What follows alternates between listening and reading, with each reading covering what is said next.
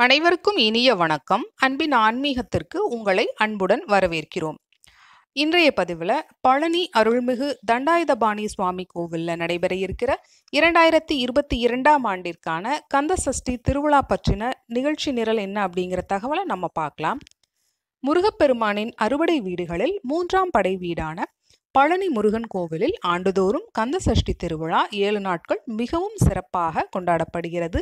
இரண்டாயிரத்தி இருபத்தி இரண்டாம் ஆண்டிற்கான கந்த சஷ்டி திருவிழா அக்டோபர் மாதம் இருபத்தி ஐந்தாம் தேதியன்று ஆரம்பமாக உள்ளது. அன்றைய தினம் நண்பகல் பதினொன்று முப்பது மணிக்கு உச்சிக்கால பூஜையில் மூலவருக்கு அபிஷேகம் சிறப்பு அலங்காரம் கல்ப பூஜை நடைபெற உள்ளது அதனைத் தொடர்ந்து விநாயகர் மூலவர் சண்முகர் வள்ளி தெய்வானை துவாரபாலகர்கள் மயில் வேல் மற்றும் நவ வீரர்களுக்கு காப்புக்கட்டு நடைபெறுகிறது. அதன் பின்னர் சஷ்டி விரதம் தொடங்கும் பக்தர்களுக்கும் காப்பு கட்டப்படுகிறது. இந்த இரண்டாயிரத்தி இருபத்தி இரண்டாம் ஆண்டிற்கான கந்தசஷ்டி திருவிழாவின் முக்கிய நிகழ்ச்சியாக அக்டோபர் மாதம் முப்பதாம் தேதி ஞாயிற்றுக்கிழமையன்று சூரசம்ஹாரம் நடைபெற உள்ளது இதையொட்டி அன்றைய தினம் அதாவது அக்டோபர் மாதம் முப்பதாம் தேதி ஞாயிற்றுக்கிழமையன்று அதிகாலை நான்கு மணிக்கு நடை திறக்கப்படுகிறது நான்கு முப்பது மணிக்கு விழா பூஜை படையல் நைவேத்தியம் பனிரெண்டு மணிக்கு உச்சிக்கால பூஜை மதியம் ஒன்று முப்பது மணிக்கு சாயரட்சை பூஜை நடைபெறுகிறது.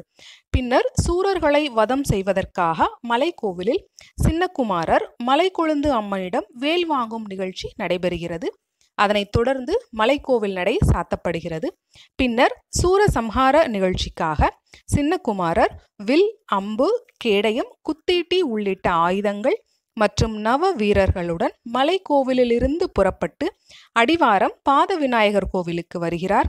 பின்னர் திரு ஆவினன்குடி கோவிலுக்கு சென்று குழந்தை வேலாயுத சுவாமியிடம் பராசக்தி வேல் வைத்து சிறப்பு பூஜை நடைபெற உள்ளது அதனைத் தொடர்ந்து அன்று மாலை ஆறு மணிக்கு மேல் கிரி வீதிகளில் சூரசம்ஹாரம் நிகழ்ச்சி நடைபெற உள்ளது.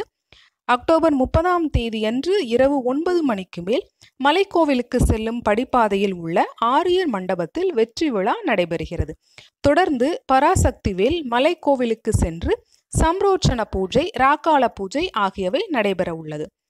இந்த கந்தசஷ்டி திருவிழாவின் ஏழாம் நாளான முப்பத்தி ஒன்றாம் தேதி திங்கட்கிழமையன்று மலைக்கோவிலில் சண்முகர் வள்ளி தெய்வானை திருக்கல்யாண வைபவம் நடைபெற உள்ளது.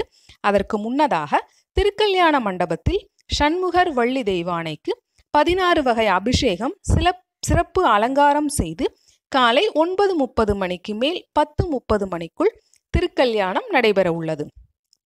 மேலும் அன்று இரவு ஏழு மணிக்கு மேல் பெரியநாயகி அம்மன் கோவிலில் முத்துக்குமார சுவாமி வள்ளி தெய்வானை திருக்கல்யாணம் நடைபெற உள்ளது. இந்த இரண்டாயிரத்தி இருபத்தி இரண்டாம் ஆண்டிற்கான கந்தசஷ்டி திருவிழாவிற்கான ஏற்பாடுகளை கோவில் நிர்வாகத்தினர் மிகவும் சிறப்பான முறையில் செய்து வருகின்றனர். இந்நிகழ்வில் நாமும் பங்கேற்று பழனி அருள்மிகு தண்டாயுதபாணி சுவாமியின் அருளை பெறுவோம். இப்பதிவினை இதுவரைக்கும் முழுமையாக கேட்ட உங்கள் அனைவருக்கும் மிக்க நன்றி.